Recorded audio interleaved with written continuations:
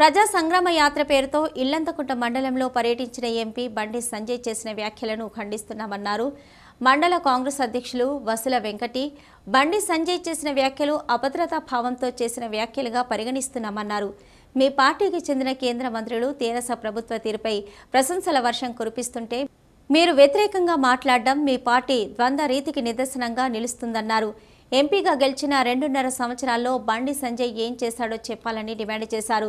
బండి సంజయ్ చేసిన అభివృద్ధిపై చర్చకు రావాలని సవాలు విసిరారు. ఎలాంటి అభివృద్ధి చేయని మీరు కాంగ్రెస్పై విమర్శలు చేయడం మానుకోవాలని సూచించారు. కాదని మాట్లాడితే ఊరుకునే ప్రసక్తే లేదని ఖబర్దార్ బండి సంజయ్ అంటూ హెచ్చరించారు. బండి సంజయ్కి ఇల్లంతకుంట ప్రజలపై చిత్తశుద్ధి ఉంటే ఎంపీ ఫండ్తో ఇల్లంతకుంటను అభివృద్ధి చేయాలన్నారు.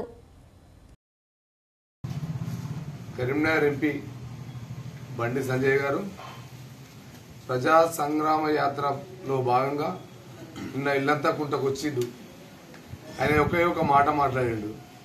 కాంగ్రెస్ టిఆర్ఎస్ ఒకటే.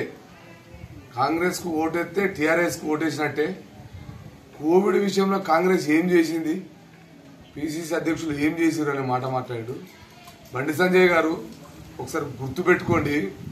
కోటి రూపాయలు పెట్టి హైదరాబాద్లో ఒక హాస్పిటల్ పెట్టిండు మా పిసిసి అధ్యక్షుడు రేవంత్ రెడ్డి గారు. అది గుర్తుపెట్టుకోండి. ఒక రోజుకు వెయ్యి మందికి అన్నం పెట్టిన ఘనత కూడా మా కాంగ్రెస్ పార్టీదే. ఒక నెల రోజులు సేవ చేసినాం. మేము చేయలేదు చేయదండు దొంగలు దొంగలు అని మీరే అన్నారు.